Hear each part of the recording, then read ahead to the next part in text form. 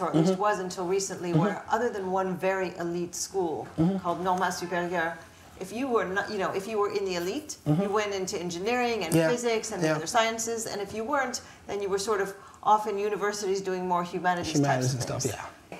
Can we shift gears back to celebrity?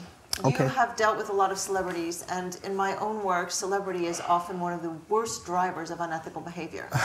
sometimes the celebrities behave badly, but sometimes the people who really go off the rails ethically uh-huh. um, or don't think about it at all are people seeking celebrity. And increasingly, celebrity just for the sake of being famous, which one can do now in the social media world, as opposed to celebrity for curing cancer or for being a great artist uh-huh. or for some being a great political leader. Uh-huh. What has been your experience with celebrity, and how do you think celebrity relates to ethics?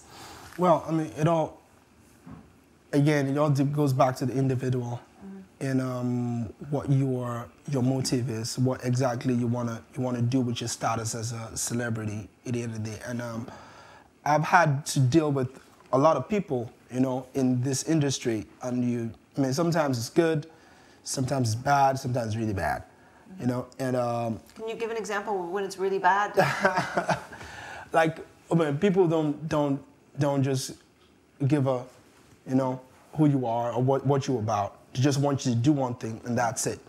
Or you get upset and So you serve a purpose for them. Yeah, yeah, yeah. No respect. No respect, you know, and you just it's like, oh, just come do this and you know. And I'm trying to engage you and tell you what I do, and you're like, oh, I don't want to hear about that. Just do your job and get the hell out of here. I don't want to see your face, and that kind of thing. And sometimes you're like, oh, why are they so all that? You know, because I, I just think sometimes just take my stuff and leave. Or there was this set I was on, I was on set, I, I had the the gig put me on the, they were calling me like a makeup artist. And I'm like, I'm not a makeup artist. I'm like, oh, sorry, there's nothing we can do about that. This is all we have for you. We don't have a title for you because you don't. I'm like, yeah, I don't fit your box. It's not my problem. You Right. create it. I don't care.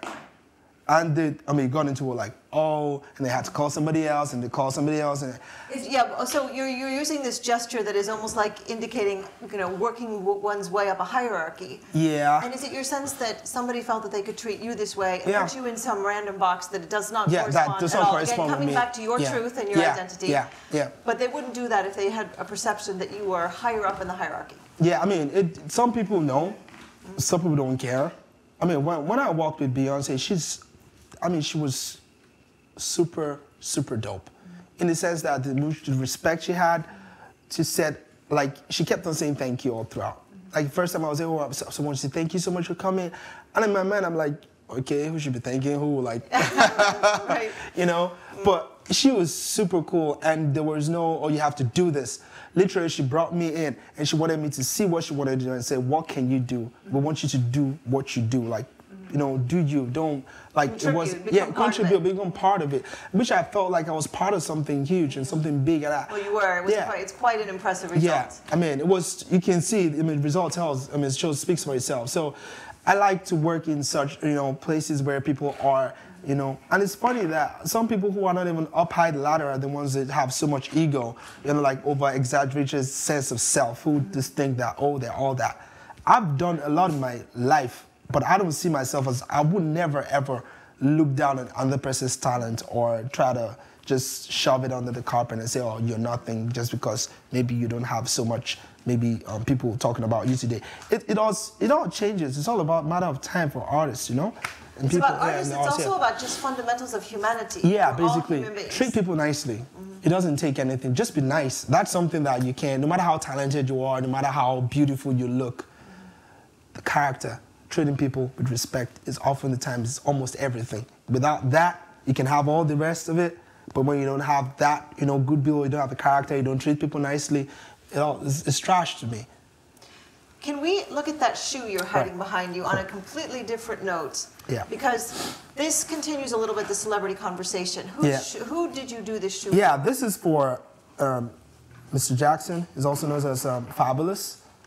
And uh, yeah, you can tell by the. Keyboard things Yeah, the on here. keyboard, the music right here, and then you can see Jackson's written backwards on the Nike swoosh, and then the spiders are masks of his African, his African Mm-hmm. descent, African American. Is also um, of Dominican um, descent, Mm-hmm. and then that's his son, Oh. Johan, So you're telling his story. Yeah, I'm telling the story on the show, and then he's very Brooklyn still because he grew up here. So you can see that's a Brooklyn, there's a Brooklyn Bridge, and that's the city skyline right there. Fantastic. And then, yeah, and then this album is the